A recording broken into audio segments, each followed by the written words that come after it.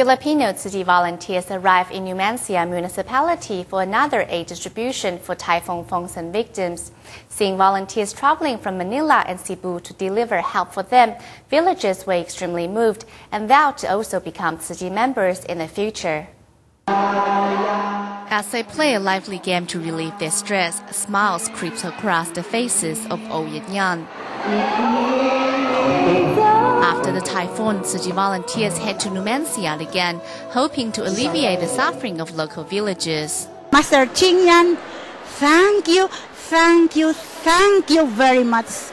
And we will never forget you and your people because your people here, the Tzu Foundation of the Philippines, are bringing us hope, light, Numancia's mayor hands over a certificate to express their gratitude towards Tzu Chi volunteers.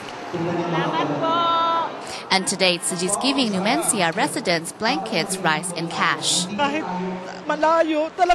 Although we're very far from you, you still came to help us. We experienced a disaster, but we also hope to help others. Jemima also tells the volunteers that she hopes to become a Tzu Chi member in the future. In fact, she's just one of many victims who, despite having nothing at all, still have loving hearts to help others. Aklan Province's governor once again lends a hand at the aid distribution. Tzu lightens up the lives of the victims. They were very sad, but because of your help, they are now filled with happiness. Give Tzu a round of applause. Hooray to Tzu The typhoon led Tzu Chi to the villages here on this piece of land. Now Tzu Chi will do what they can to help the victims get on the road to recovery.